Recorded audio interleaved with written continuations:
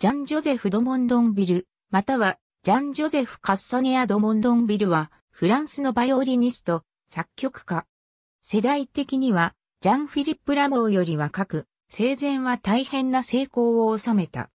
ルイ・クロード・ダカンのコピエール・ルイ・ダカンは、こう言っている。南西フランスのナルボンヌに生まれた。貴族の家だったが、その時にはすでに厳しい状況に陥っていた。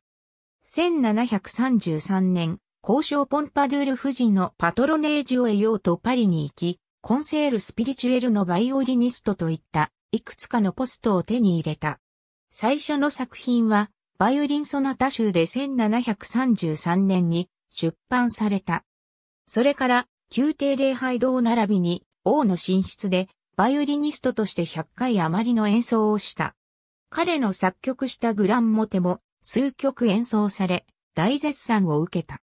1740年と1744年には、宮廷礼拝堂の監督官に任命された。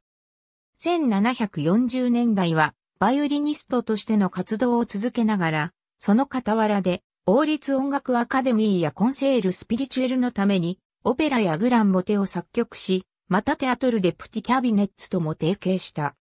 1755年、ジョゼフ・ニコラ・パンクラス・ロワイエの死を受けて、コンセール・スピリチュエルの監督を引き継いだ。60歳でベルビルで亡くなった。1734年から1755年にかけて17曲のグラン・モテを作曲し、そのうち7曲は現存している。モテ、主に向かって喜び歌王は、宮廷礼拝堂音楽監督の役職にあった1740年に作られた。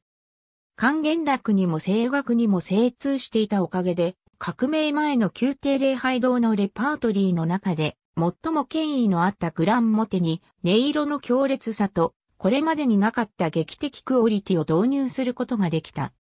最初の舞台作品、フランスのバロックオペラの軽やかな形式つまりオペラ、バレエと pastorale héroïque を持ったイズベこそ、失敗に終わったものの、 Le Carnaval du Parnasse や、 Titon et l'Aurore、 Daphnis et Alcimadure は、人気のあるオペラである。チトン・イエル・アウロレは、1750年代にパリで湧き起こったフランスオペラ派、イタリアオペラ派のブフォン論争で重要な役を演じた。フランス派は初演は大成功だったと主張したが、イタリア派は上演場所のテアトルデール、アコダミロワイヤルでミュージックに兵隊をぎっしり詰め込ませた結果だと言い返した。彼は深刻なフランスオペラに手を出して失敗した。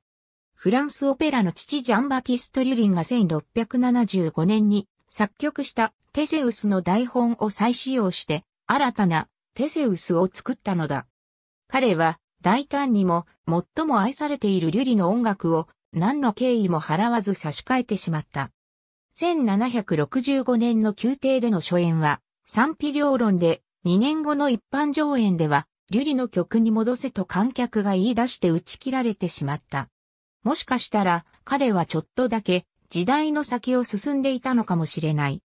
1770年代になってグルックのアルミードのようにリュリの悲劇を新しい音楽に直すことが流行になったのだから。現存している9曲のみ。